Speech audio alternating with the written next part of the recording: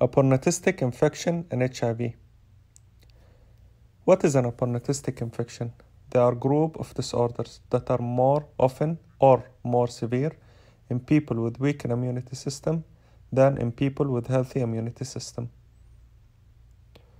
But why do people with HIV are at risk for opportunistic infection? HIV damages the immune system. A weakened immune system makes it harder for the body to fight off opportunistic infections.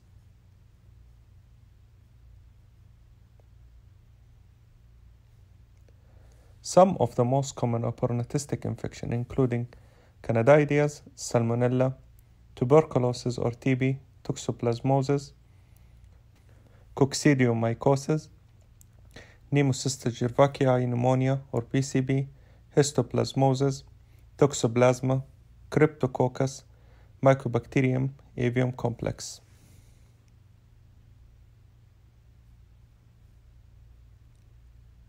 Infection prevention. What are the measures that are taken for infection prevention?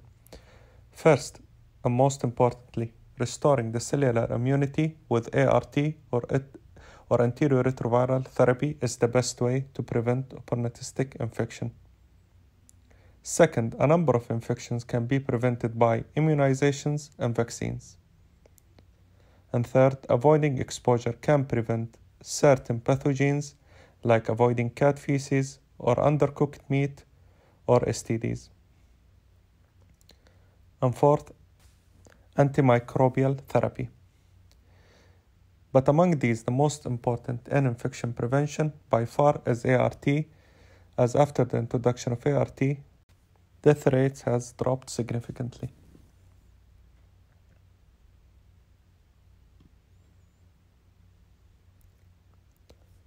So when is the antimicrobial therapy is administered? The administration of antimicrobial therapy is with the goal of preventing a clinical significance.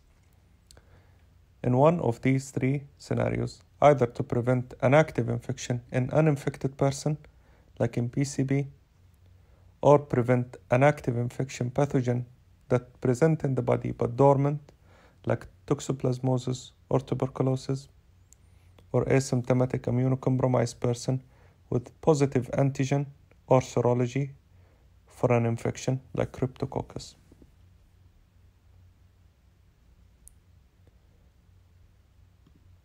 So first, with antimicrobial therapy for all CD4 counts, TB or tuberculosis, all HIV infected should be screened for latent TB regardless of the CD4 count. Screening using either interferon gamma release assay or tuberculin test. Therapy for latent TB should be administered INH plus pyridoxine.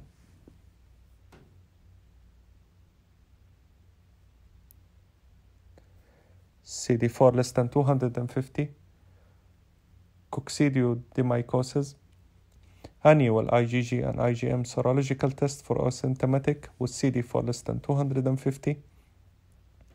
Fluconazole is administered with newly positive serology. Discontinue therapy in patient who is receiving ART and CD4 is more than 250 for at least 6 months.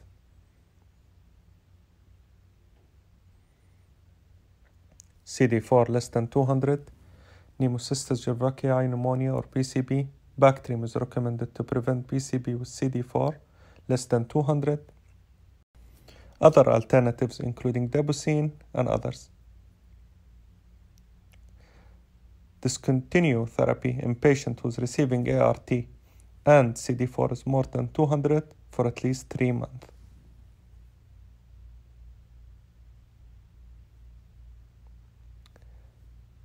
CD4 less than 150, histoplasmosis. Prophylaxis is administered only in hyperendemic areas. We usually administer itraconazole. Otherwise, prophylaxis is not recommended.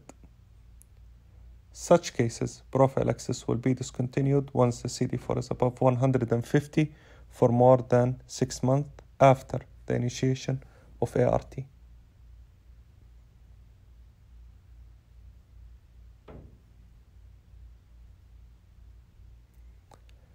CD4 less than 100, Toxoplasma and Cryptococcus.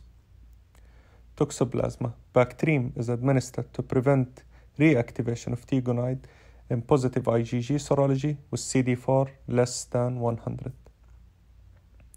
Discontinue therapy in patient who is receiving ART and CD4 is more than 200 for at least 3 months. And in Cryptococcus, preventing therapy for cryptococcal disease is generally not recommended.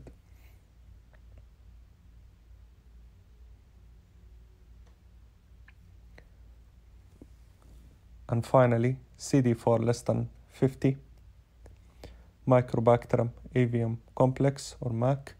For patients who are not on ART with CD4 less than 50, no prophylaxis is recommended.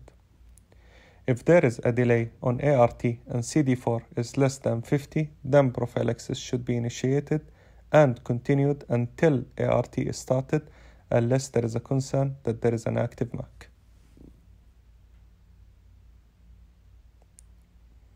So, as a conclusion, all HIV infected should be screened for latent TB regardless of the CD4 count. Annual IgG and IgM serological test for asymptomatic coccidioidomycosis with CD4 less than 250. Bactrim is recommended to prevent PCP with CD4 less than 200 prophylaxis for histoplasmosis administered only in hyperendemic regions with CD4 less than 150. Bactrim administered to prevent reactivation of T-gondii toxoplasmosis in positive IgG serology with CD4 less than 100. Preventive therapy for cryptococcal disease is generally not recommended. And finally, MAC with CD4 less than 50 no prophylaxis is recommended unless there is a delay in ART.